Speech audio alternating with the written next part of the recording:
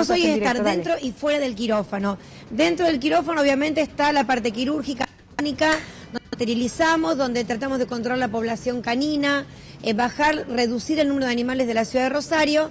Y fuera del quirófano es la parte que más necesitamos, es la educación, que la gente concurra sepa por qué hay que castrar un animal, todo lo que previene, por qué tener un animal en buenas condiciones, por qué no maltratar, que hay leyes que prohíben el maltrato, y ser responsable en todo sentido, no abandonar, tenerlos en un buen estado de salud. Vos pensás que la Municipalidad de Rosario tiene hace 20 años un instituto donde asiste gratuitamente la salud primaria en principio con un consultorio, después esterilizamos.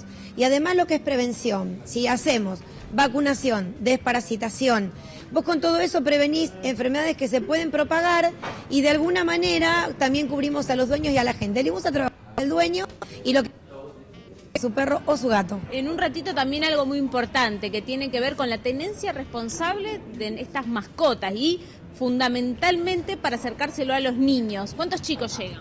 A la mañana tenemos aproximadamente 300 y a la tarde 250 niños que van a estar en charlas, recorridas por los quirófanos, juegos y a las 10 de la mañana los perros de la policía que enseñan el tema de la tenencia de perros potencialmente peligrosos.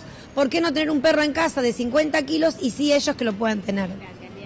Hay que recordar entonces que la campaña se va a realizar desde las 8 de la mañana, en un ratito empiezan a dar los números, hasta las 17 horas se van a estar entregando aproximadamente 70 turnos entonces para esta campaña de esterilización y para todos aquellos también que quieran venir a adoptar un perrito. Bárbara Belén, gracias, hasta luego. A veces se hace difícil controlar a las mascotitas cuando son grandotas en la espera, así que enseguida va a comenzar la entrega.